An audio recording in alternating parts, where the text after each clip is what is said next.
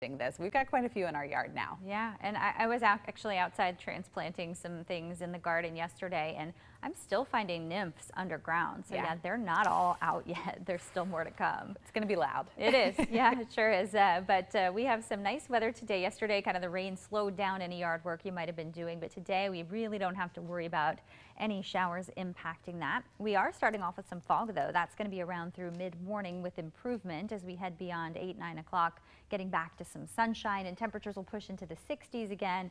Uh, we are looking at temperatures hitting highs in the uh, 70s to right around 80 degrees. So it's going to be just like yesterday.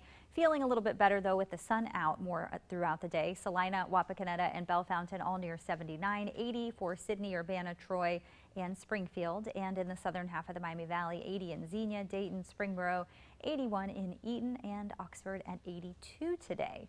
Our dew points are also going to be a little bit lower, so it's not going to be as sticky as it felt yesterday. Those dew points are going to be in the mid and upper 50s. Anytime they're above 60, it does feel more humid.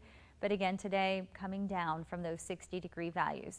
We have a front that came through that is now south of us. And so the rain that worked through overnight working south and dissipating.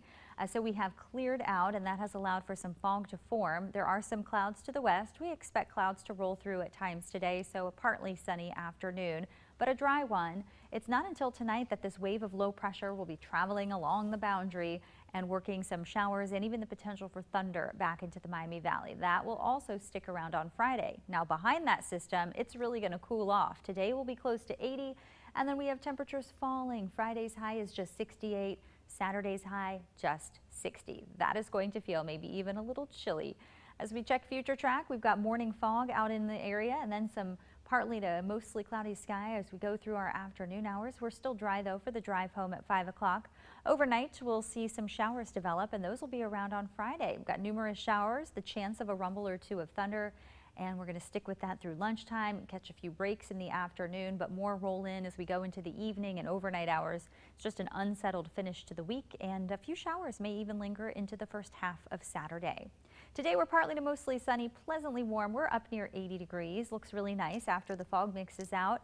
Increasing clouds tonight. Showers develop. We'll drop down to 62. And tomorrow, an unsettled day, breezy, cooler, a high of just 68. Showers with the chance for some rumbles of thunder. In your Storm Team 2 seven-day forecast, we'll still have a few showers possible Saturday.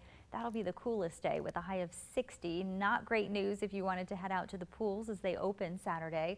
Uh, better weather Sunday and especially into Memorial Day. We should be back up to 76. We expect dry weather those two days. And then Tuesday and Wednesday even warmer as we get into the upper 70s.